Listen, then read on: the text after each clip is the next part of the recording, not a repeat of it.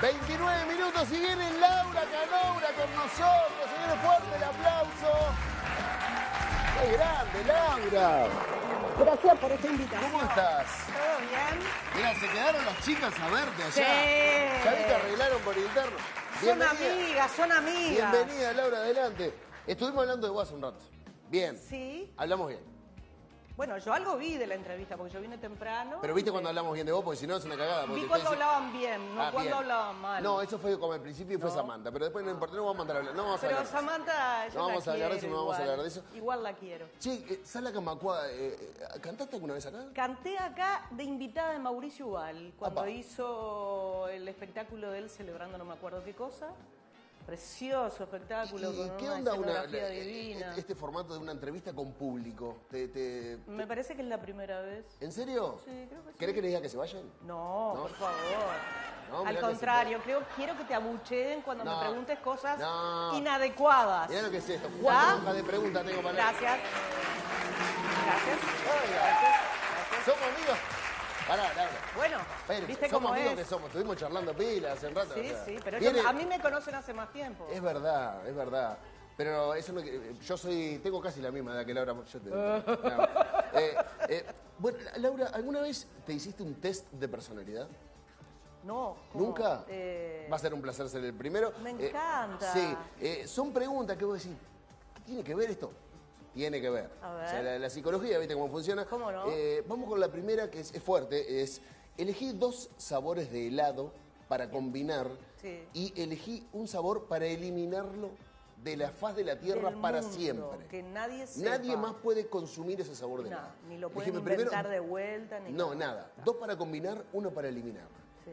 ¿Me vas a dar opciones? No, es es decisión Ah, tuya. dos para combinar, eh, sí, sin lugar a dudas. Eh, chocolate holandés Ah, y mm, podría ser a ver si sos de las mías. una frutilla o... Ahí va, a mí me gusta uno que dé culpa y uno otro que, que- y otro que que, no, no. que me Como decir, no, dame el, el- el bomba dulce de leche con mega Oreo, coso Sí. y limón. Pero, sin limón, azúcar. pero el, ma- el me- el que tiene más cantidad es el que hace daño. Es el que va primero, ¿no? Ahí Eh, eh, está, o sea, el que hay que obvio. pedir primero es el que, el que te pone más porque va para Se adentro del supone, cucurucho. Claro, ¿no? sostiene, ¿no? ¿Qué es eso? Impresionante. ¿Por qué le trajo un cajón de mandarín? ¿Qué? ¿Cómo anda? ¿Cómo le anda? va? ¿Cómo Qué le placer va? conocer a Laura Canora. Igualmente. Vos andás, yo te voy pelando tangerines. No, no, no sea tarado. Pidió, Yo lo dije. Pidió que quería dije que me gustaban, pero si me las pelaba. Pero no te puede traer un cajón de tangerina. No va a comer un cajón de tangerina. no, pero me lo puedo llevar después.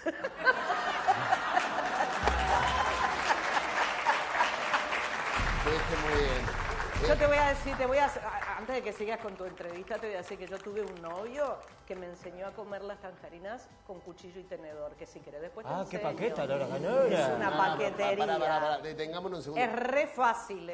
Pero no se puede comer mandarina con un cuchillo. Pierde toda la ¿Cómo no se gracia. va a poder? Pero pierde la gracia de la mandarina, ¿qué es? los, los dedos con olor a tangerina. ¿Qué? Mirá, olé, olé, olé. No, Olé. no, Ah, no, esta no, Ah, esta no, esta era, esta era, esta.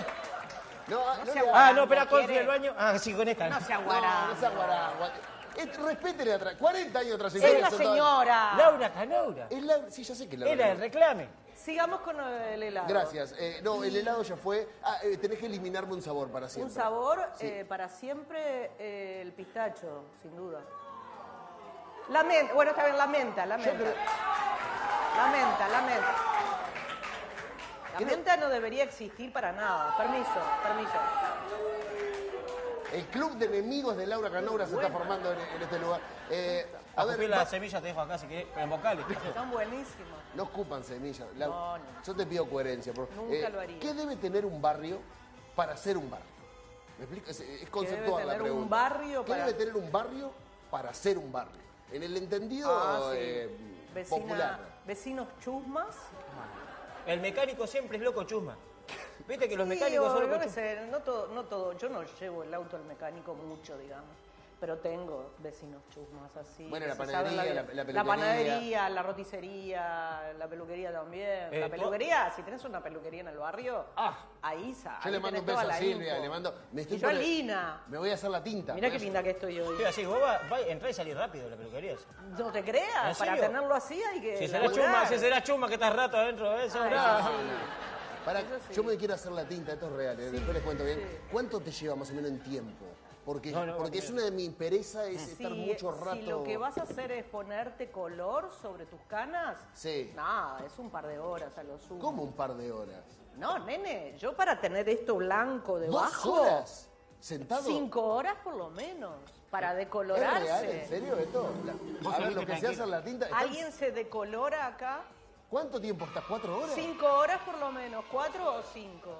¿Pero qué hace uno cinco horas dentro de la peluquería? Lees, te llevas la computadora, Ay, qué conversás, horror. escribís, Bueno, pará, hablás. te voy a hacer la última. Humeás. La milanesa napolitana, ¿lleva arvejas? No, No estoy de acuerdo. qué asquerosidad.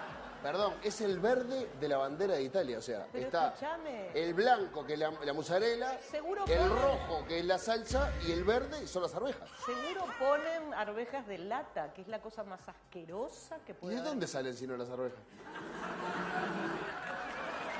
De la feria. No, es muy difícil. hay que- De las chauchas, de las chauchas. Con lo divino, o por lo menos de los congelados.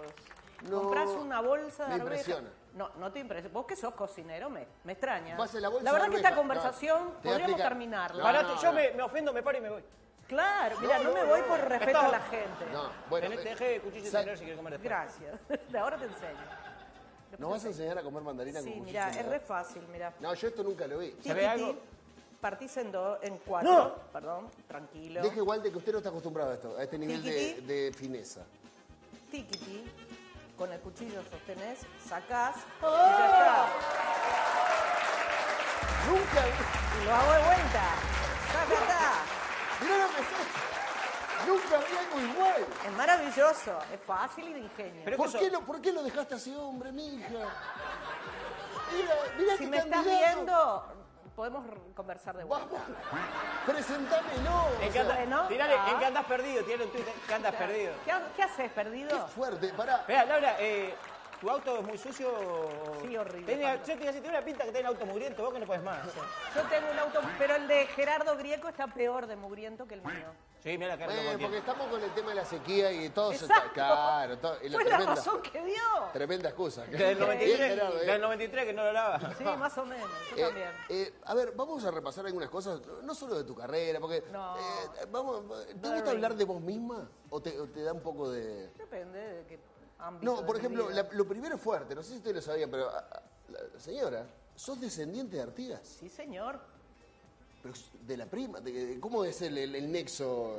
¿Cómo llegás, cómo llegás a, ¿Qué onda, tu tatarabuela? ¿La prima era tu tatarabuela? ¿Qué historia? No, ¿cómo llegás a enterarte primero que sos descendiente de Artigas? Porque mi madre, que todo lo ha guardado en esta vida, gracias a Dios, conservaba la cédula de identidad que en- eh, antiguamente Era como un era librito. como un librito, como la credencial Sí.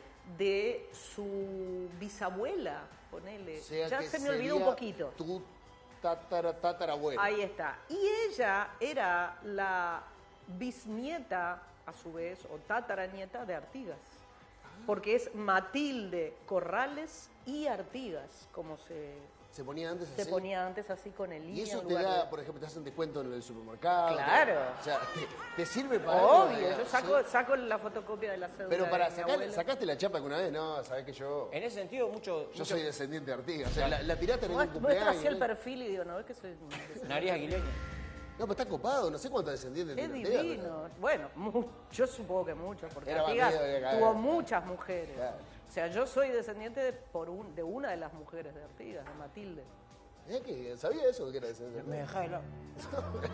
No, Célebre, soy no, célebre. pero, pero tenés muchas cosas. Eh, naciste un 2 de enero, Eh, Pa, nadie va a tu cumpleaños. por eso, qué embole, ¿no? me acabo de enterar, viéndote a vos, que Marcet cumple el mismo día que cumple Alfonso Carbone, Jaime Ross, Ah. Rosario Castillo y ahora Marcet. ¿Vos decís que son todos narcotraficantes? ¡No! No sé por qué asociaste la... No, porque hasta ahora era un día de mucha celebración. Yo, ahora Jaime- no yo por Jaime no pongo las manos al fuego. no sé vos, pero... Eh, pará, No, no, sí. en serio, nacís un, un- un 2 de enero, y lo dijo Waldemar, ¿no? Mi, mi esposa, por ejemplo, cumple en febrero y, y me ha comentado que ella, su infancia la salvó haber nacido en un complejo de vivienda Ah. porque eh, tenía los amiguitos. Este, porque los de la escuela ni el loro te aparecían, no venía ni uno. Absolutamente. Este, y un 2 de enero está la gente de resaca, Sí. Eh, de- Hartos de, comer, ya Nadie no quiere comer, nada, porque ya decís, no, el 2 de enero está así, dame ensalada de fruta por Dios. Sí. Te comés lo que es el pan dulce con el mate. No, seguís comiendo nada. cordero del 24, es un horror todo. Nada, es Eh, horrible. horrible. Pero Yo ¿cómo- no festejo, Ahí va eso te decir, ¿cómo son tus cumpleaños? no lo festejo. Ah. Tengo, o sea, Me puse ya- triste, me angustié. ¿por qué te vas a angustiar si a mí no me afecta? ¿No te afecta? Para nada, al contrario. Vamos para la casa de Diego. Me ¿sabes? rompe bastante que me insistan que festeje. Yo soy igual, ¿vos sabés? Entonces mi hija, mi hija, por ejemplo, que es la que más insiste, ¿cómo? Ah, No vas a hacer nada. Qué pesada también. Vamos a cenar aunque sea. Y yo le digo, Ana Clara, ya hemos tenido muchas experiencias en las que salimos a buscar un lugar que nos guste para cenar y está todo cerrado. 2 de porque enero, es Ana 2 Clara, de enero. acá. ¿entendés? 2 de enero, ni el loro está Un acá. lunes, por ejemplo, 2 de enero, es una tristeza. Sí, no, vos sabés que está Laura Canora acá en la puerta que dice que quiere que es el cumpleaños. Claro, claro. Bueno, dale una pizza, Un algo. chu- churrasquito. Hacele algo. Eh, tengo una pregunta que les va a sonar rara, pero detrás de la pregunta seguramente haya una anécdota y es, ¿qué son los delantales palet? ¿Vieron? Yo no tenía ni idea que era esto. Se rió antes de una, eso es una anécdota muy familiar. Eh, Palet era una marca, no creo que no existe más, de, de- de cosas así, manteles, delantales, yo qué sé, no sé, cosas, sábanas supongo. ¿no? Y mi madre una vez compró, mi vieja siempre tenía la, la manía de comprar todo por tres, como si nosotras fuéramos trillizas. Pero no y se nos, lle- nos llevamos cinco años y cinco años, o sea, mi hermana mayor a mí me lleva diez. Ah, y no, la del para medio comprar, cinco. para- nada para comprar lo mismo, claro. Todo Y usado. entonces nos compró lo que ella decía que eran tres vestiditos para cruzar a la playa, porque nosotros vivíamos en la Rambla y en Carrasco. Y eran delantales, unos delantales Jugada la que vieja. la vieja jugada. Eran no playa delantales. No, no, pero no eran como te los imaginas así, cosas así. Ah, ¿no? no, no, era como, como eh, era un peto y la espalda también. Un poncho. No, porque eran sin mangas, como parecido a lo que Un usan poncho sin manga. Eh, peor que usan los nenes en la, en la guardería, ¿viste? Ah, que tienen espalda y, Ah. y un lacito acá y un lacito acá. Y vas con el bikini. Nosotros que cruzábamos con el bikini. O sea, yo creo que mi vieja lo que quería era eh, Tapar a la- tapar un a- poquito. a la nena, claro. Porque nosotros No, ponele el cruzábamos de poncho. bikini ponele- igual, ¿no? Ponele el poncho a las gurisas que están, están cruzando. Y mi Eh, vieja insistía que era para, para ir a la playa y nosotros nos recagábamos de presa porque eran delantales. Usaban de pared después. No, que el pareo, el pareo, eh, guarda que el que inventó el pareo, yo no sé si existe una persona que haya inventado el pareo, pero es el responsable de la prenda perfecta. O sea, el pareo es, Sí. el pareo es vestido, Vestido, pollera, pollera. mantel, baño. Baño, claro. ¿Eh? Y para sacudirse las patas. Eh, Te para sacudí, acostarte. te sacudí entre subir al auto. O sea, el pareo es como, es fantástico. Eh, fuiste a la Facultad de Arquitectura, eh, salvaste estabilidad 2 Sí, señor. y dejaste la facultad. Ahí. ¿Qué es estabilidad 2?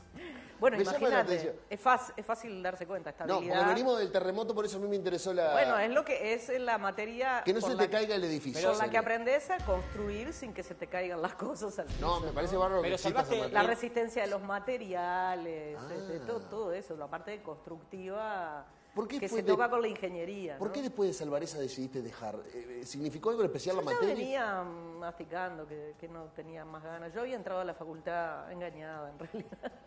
Eh, Aparte de esa facultad te tiran para la fuente con los pescados, todo, cualquiera. No, y dicen que de noche. Oh, di- dicen que de noche. ¿Será por eso que los arquitectos- Uno, han pasado por la facu- Facultad de Arquitectura de noche, sí. Vieron que siempre hay luz prendida y movimiento. ¿Y por qué hay Y dicen que pasan cosas en la facultad. ¿Es verdad? ¿Cosas de qué tipo? Cosas, la que. eh, no, Ah, voy a, no, no no. voy a ser yo el que, que me, Ahora me voy a no. echar en contra a todos los arquitectos del Uruguay. Ahora no tengo idea. En mi época era plena dictadura, así que no pasaba Nada.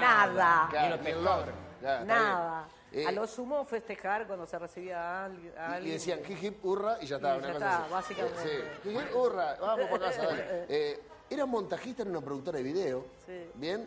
Eh, eh, pedí- pidió el despido para que la echaran y para que después la contrataran como freelance. Nunca te llamaron. No es así el cuento. A ver. Se cambiaban las condiciones de trabajo en el lugar donde Mm. yo trabajaba. Y entonces yo consideraba que lo justo era que nos despidieran a todos y después iban a llamar freelance, que nos llamaran, pero primero Pagarle, claro. pagar el despido como corresponde. Y me pagaron el despido, fuimos un par nomás que reclamamos y nunca más me llamaron. Qué raro. No Claro. me importó mucho tampoco raro. porque yo ya estaba muy abocada a la música. A la Che Guevara, pero corto que ni venga, dice. Eh, a la que come mandarina con cuchillo y tenedor, joda, va, esa, esa no vimos. Eh, no, pero A la que cruza vestido a la playa y así seguía. De delantal. Era ta- ahora, ¿ese fue el empujón hacia decidir vivir de la música? Y un poco eso y, y darme cuenta también, tenía en ese momento tenía una pareja que fue como muy estimulante para que yo hiciera eso. Yo- de- no, otro, no. otro. Soy una mujer de No, muchos porque am- dijo, este es un crack. Soy una mu- he sido una mujer de muchos amores. No, está bien. Este, pero mm, mi hija era chiquita y a mí me daba mucho miedo arriesgar y, y qué sé yo, pero ¿Y por me qué- iba bien. ¿Y por qué arriesgaste? O sea, ¿cuál fue tu Porque me- sensación corporal que te dijo, Me iba bien como en la música, empecé a, a ganar más cantando que lo que ganaba en SEMA, en ese lugar donde trabajaba. Y me di cuenta que me movía bien, que tenía mm, condiciones para administrar mi, mi carrera, digamos, mi, mi trabajo, ¿no? Eras algo, eras, con el mayor respetos te lo digo, eras algo poco habitual, porque hoy hablamos con, con las chicas de lo difícil que era hace 20 años, pero hace 40 años era más difícil todavía. Sí, este, y, y estabas bastante sola en el ambiente musical, eh, So- sola femeninamente, femeninamente hablando. hablando. O Pero sea, tenía una cantidad de colegas, hombres, que, que en ese momento fueron importantes para mí, que me, que me ayudaron a, a dar pasos también, ¿no? Bueno, en esa época se te, bueno, además de cantar, se te abre la oportunidad. Ahora quiero hablar un poquito de algo que a mí me gusta mucho. pregunté no sé, me sé que a. Waldemar este, también le va a gustar, pero no, quería hablar de, de- de Rumbo, de la época de Rumbo, una época muy, muy germinal de, de- de- y de una canción en particular que todo el mundo la conoce, que es A Redoblar, y, y quería saber si tenías algún recuerdo de la primera vez que la escuchaste, no arriba de un escenario, sino cuando te dijeron, che, mirá, vamos a cantar una canción que se llama A Redoblar, y, y- y cómo te la presentaron, ¿tenés Sí. un recuerdo de eso? con esta cobro Gau para toda la vida. No, eh, no recuerdo específicamente con esa canción, pero sí recuerdo el- la gran emoción que siempre sentía en los ensayos cuando alguno, sobre todo Mauricio, que era el que más componía, pero también Miguel y también este, Gonzalo Moreira, cuando traían y decían, tengo un tema nuevo para mostrar. Ah, Era una emoción, una, una adrenalina, ¿viste? Porque nosotros hacíamos eso porque nos gustaba mucho cantar y hacer música. Entonces, eso, eso es como una especie de droga, ¿viste? Todas esas, esas motivaciones que aparecen, el hecho de un- que un colega te traiga una canción y la muestre, ¿no? Y tenemos a la hija de Gonzalo Moreira trabajando con nosotros, no salió, Sí. lamentablemente. Es la que hace la voz de. han de- mejorado mucho. No, han lamentablemente el mejorado talento mucho de la esa familia genera- del Valle Esta, esta, esta generaciones. buenísima, es la que hace la voz del- de, estacionamiento. Bienvenidos a Montevideo Shopping. Es ella. Bueno, sí, es la locutora, pero Qué bueno. laburo, no ¿eh? Ese. Es gran, gran productora la Sí, Sola. Bueno, no sé si es momento para decirlo, no importa. Sí, Eh, se merece un No, aumento de sueldo inclusive. Sí, hacen que paguen más impuestos. No, ¿cómo lo meto? No, no, no, no. la- la- acá la, esta la quiere. Andá, porque- a- andá a hacer eso del canal 10, Cagüeta, que venía acá. Ven que. Andá No, acá. Eh, representaste Uruguay, y esto me parece fantástico, porque habla de, de otra época de- donde la música tenía otro lugar. Representaste Uruguay en el Festival OTI de la Canción. Ah, sí. ¿Qué era? Yo no sé si los más grandes se acordarán, pero esos festivales paraban el reloj, o sea, era, eh, Sí. creo que en Europa, en muchos lugares sigue Eurovisión, todo eso sigue siendo Sí, una sí, cosa como muy... claro. Pero No, eh, el OTI no era, me parece que no era como del nivel de Eurovisión o de, de- No, pero era grosso, San. Remo, qué sé yo, pero era un festival importante porque era de las televisoras del mundo. Claro. la- en este caso era el Canal 10 que te mandaba, elegía siempre un artista para mandar. ¿qué cantaste? Canté un tema que hicimos con Hugo que por supuesto nunca en la vida iba a ganar. Cacho.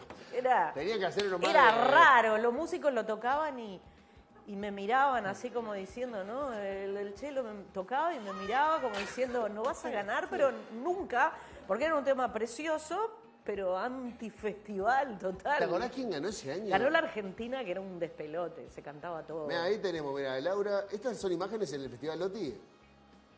Ver. ¿En serio? Sí, Festivalotti. sí. ¿Qué Festivalotti? ¿Qué ¿Qué festivalotti? Pará, qué fuerte pararse ahí, igual, debe ser No, un momento... imponente. No, pero vos sabés que, genial, yo en esa época Cantaban Soy Celeste, tomaba Soy homeopatía. ¿Eh? Esto es una publicidad, pero la homeopatía no. Tomaba homeopatía y flores Sí. de Bach y todo eso, ¿no? Sí. Entonces me acuerdo que fui a mi doctora y le dije, estoy re cagada de miedo, voy a ir a pero- cantar a un festival, la televisión, España, cosas, no sé qué.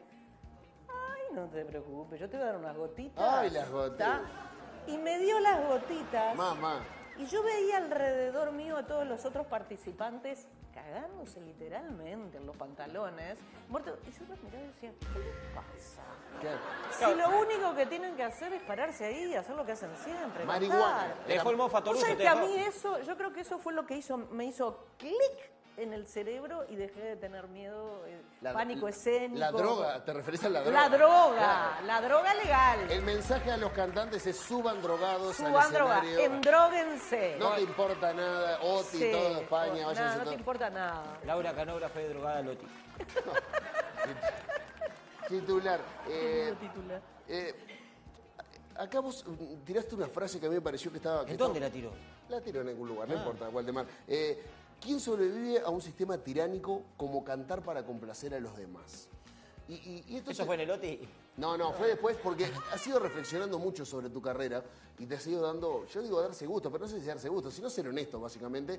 Y empezaste a hacer, porque muchos artistas dicen que hay como dos grandes escuelas. Una es, tengo que sacar hits, es un vicio el hit, este, que la gente me quiera, que la gente, hacer cosas para gustarle a la gente. Y después hay otra gente que dice, no, yo tengo que ser honesto conmigo mismo, tengo que hacer lo que a mí me gusta y seguramente eso le va a gustar a los demás. Eh, ¿Te costó ese proceso de darte cuenta, de decir, vos, Sí, claro, me costó, me costó por supuesto.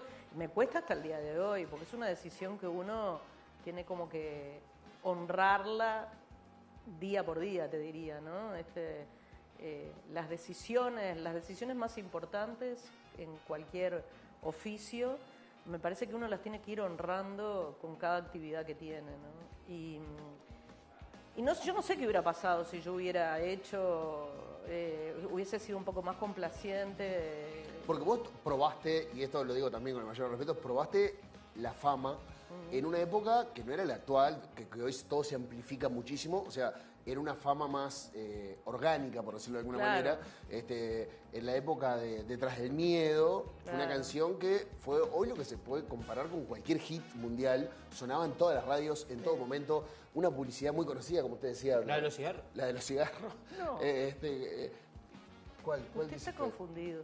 ¿No eras vos la del cigarro? No. Pues, no me equivoqué. Hoy me equivoqué con Pero Pachu, sí ahora hice esto. de cerveza y, Ah, de, sí, entonces sí y era. de, Sabía que una y de refrescos. eso, pero bueno, no. Pero, o sea, que hasta el punto esa canción te, te- te- te llegó. Tuviste un tiempo sin cantarla, por ejemplo. Sí, muchos, muchos años. Y tuviste conflictos con la exposición. Eh, Me acuerdo que una anécdota que, que- no sé, me acuerdo que tu hija fue a comprar huevo y trajo los huevos envueltos. Yo, Ah, yo fui a la feria y fui a comprar huevos y otras cosas y pescado y qué sé yo, a la feria que había la- abajo de, la, de, la- de mi casa, donde cuando vivía en el centro. Y cuando llego a mi casa despliego y era la, la nota del sábado show Habían envuelto los huevos con tu, con tu cara. que me habían hecho hacía 15 días, ponele, tapa de sábado show, así, ¿no? Era ¿Y- una ¿Y te época... afectó? ¿Recordás que eso te, te- te daba que la gente te mirara, que te eso Eso me hizo así bajar a tierra inmediatamente. Chiquita, mirá que vos podés terminar en cualquier momento envolviendo los huevos de, de la Claro. feria. Que espera, O sea, ¿cuál es, qué es lo que hace que, que suceda una cosa positiva o una cosa negativa? Muchas cosas tienen que ver con lo que haces vos, pero muchas cosas también tienen que ver con lo que hacen otros. Entonces, este, sí, me afectó, supongo que en algún momento debo haber estado bastante eh, pagada de sí mismo, como se diría, algunos podrán decirte de repente.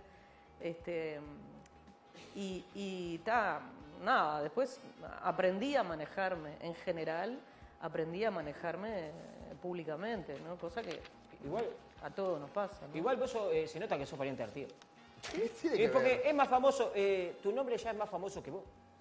¿Por qué? ¿Vos decís? Mira qué Eh, interesante lo que estás eh, diciendo. va- eh, mañana eh, va a decir Laura Canobra, uh, Laura Canobra, y van a acordarse más de tu nombre y decir, mira las canciones de Laura Canobra, cosas, y, y- y- y Ojalá, tu nombre eh, ya está. Porque dice Yo este me que- siento, me- si, si eso sucede, siento que voy a estar cumpliendo con mi papá, Para mí sí. que, que conmigo pierde el apellido, ¿no? Porque yo soy mujer y lamentablemente... Este comunista le puso el nombre de- de- del apellido de la esposa a la Mirá qué bárbaro, bien ahí. Claro, está bien. Aparte, soy genial. González. Está ¿no? lleno de González. Y es González, González, González. bien. Ahora, eh, Laura, tenés un show espectacular que se viene Sí. en el Teatro Solís. Eh, es un show que tiene una celebración de, de alguna manera. Con- Contame de este show.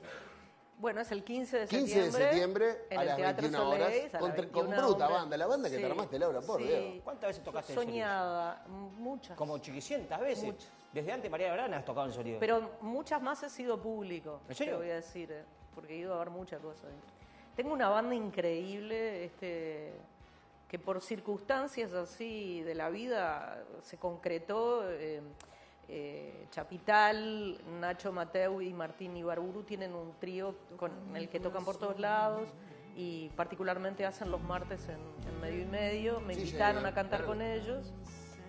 Y yo lo pasé tan bien ensayando para ese espectáculo y tocando ahí con ellos. Bueno, vos ¿no? también, mirá lo que elegiste. Es una selección uruguaya de música, está, divino. Y bueno, yo andaba con ganas, ya venía de hacer Cantorcita con Carlos Gómez, que fue- nos fue bárbaro con ese tema, pero andaba ya con- me estaban picando la necesidad de armar banda de vuelta y lo llamé al Chapa. Dije, a mí me gustaría armar una... Con el Chapa hacía, hacía años que veníamos, ¿no? Algún día haremos algo juntos, qué sé yo. Yo lo, había conocido cuando hicimos el disco Bolero y el espectáculo de la gira de Bolero, este, que él me, vivía con el, con el bajista que tocaba con, con nosotros, este, el Pomo Vera, y me sugería boleros para cantar y qué sé yo. Y, pero Chapo, a mí me gustaría, si fuera posible, que fuera con el trío, con este trío. Ustedes, vos te animás a preguntarles a ver si ellos están afín. Bueno, felices. Este, el Chapa sugirió al J, que fue un- es un- una maravilla, yo no lo conocía, es un hallazgo. Sí, el, el- equilibrio de, de esa banda es el J. Y me pone muy feliz porque ellos son medio, medio fans míos. O sea, son, Claro, ¿qué más son- querés? son músicos, pero son fans también. Entonces me reclaman temas. Y, esta, y tal tema, no lo vas a hacer nunca, aunque sea una vez. Los, mirá que lo sabemos tocar, mirá que de- en un ensayo lo sacamos, torean, ¿no? pará, pará, Me que por matar a torean. Laura Canora, o sea, Me sí. Eh, pero pará, ¿y y este espectáculo del Solís, eh, por dónde va a ir? Y entonces este espectáculo de Solís tiene una motivación linda, eh, central, digamos, que, que estamos cumpliendo, se están cumpliendo 25 años de, de un disco que para mí eh, fue súper importante, que es Pasajeros Permanentes, que lo- fue mi primer disco grabado en Chile, para una multinacional, fue una... Pero, pero con equipo uruguayo. Yo viajé de acá con Jorge Nocetti y Bernardo Aguerre y allá nos completaron el equipo. Entonces para mí fue como como, como el, el sueño del pibe, ¿no? Laburar con, con la gente con la que estás habituado a trabajar, pero, pero en el gran mundo, ¿no? Ya están las entradas a la venta para Sí. este Solís, que va a estar espectacular. Es el 15 de septiembre a las 9 de la noche. Sé que va a haber invitados de lujo que me Sí. dijeron que... ¿No, puedo contar aquí? Sí, ¿Qué, qué cae 15? ¿Qué cae 15? Eh, no sé qué cae, Viernes. 15 viernes. Nos 15. conseguí un par de entradas ahí. para- No, ¿Cómo pida no? entrada, nada. Eh, 15 Ahí además de ¿Me tiene- llevas septiembre. mandarinas? Sí. Sí, te llevo, te llevo. Tirame, tirame de dos invitados que sé Los que- dos invitados, los dos invitados que van a estar son Jorge Nocetti, que no podía no Sí, estar, señora. hace muchos años que no toca con- conmigo, entonces era un, un lindo motivo para volvernos a juntar, y Luciano Superviel. Qué lindo, qué Sí, cuadro que armaste, sí, Laura. Fuerte sí. el aplauso, va a estar tremendo este show. 15 de septiembre a las 9 de la noche en el Teatro de Solís. Mira, en realidad tenía dos millones de cosas más para preguntarte, pero me permite la producción, estamos pasados de tiempo. Un minuto más me permiten porque... Mirá que yo vi el reclame de ¿Sabés que te, te 23 mentimos? días y otra cosa. Te mentimos. Porque te dijimos que subieras con tu teléfono Sí. y lo tenés ahí el teléfono. Lo tengo ahí. Porque, bueno, Iba a decir que me lo había dejado en casa. Por Ah, las hubieras dudas. hecho eso, mija, porque ahora te cagamos. Eh, vamos a hacer algo por primera vez, a ver si nos sale. Bien, eh, las redes sociales te jugaron una pasada sobre la cual has reflexionado.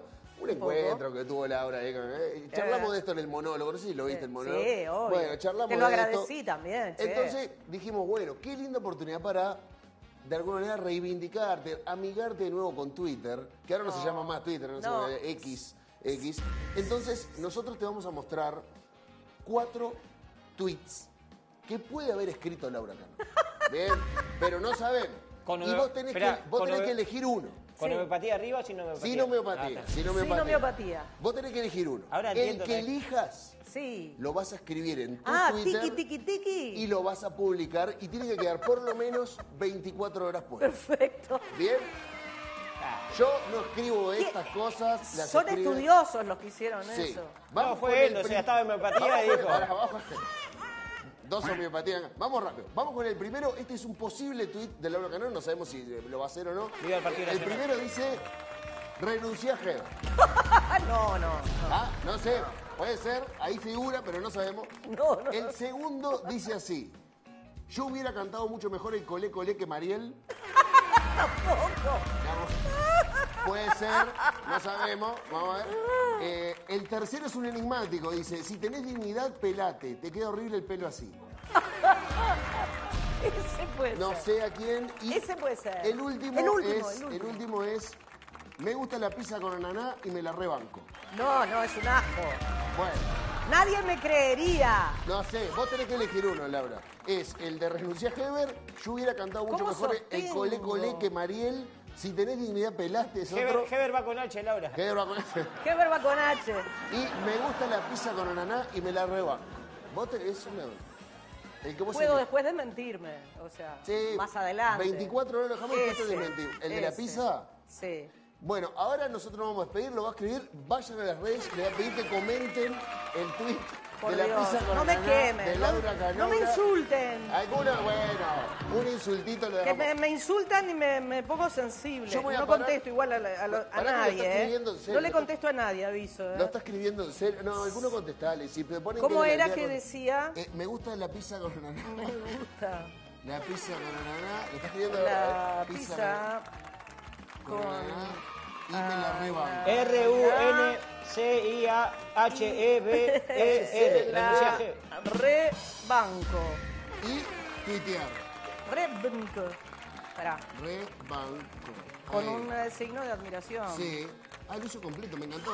Tuitear. Ya pueden entrar a comentar. El tweet de Laura Canona. Laura. Un placer. Sos un caballero. Sos una divina, de verdad. Sí, El sos 15 de septiembre hagan explotar ese teatro Solís. Les pido, por favor, a estar hasta las manijas. Por Muchas favor. gracias a todos ustedes. Fuerte el aplauso para Laura, por favor. Y el 19 de agosto a ver a la... A pecadoras, Pecadora. claro que sí. Nosotros nos encontramos la semana que viene, los jueves, como siempre, en vivo en la sala Camacuá, en la aldea. Que pasen muy bien, muchas gracias. Dame un beso.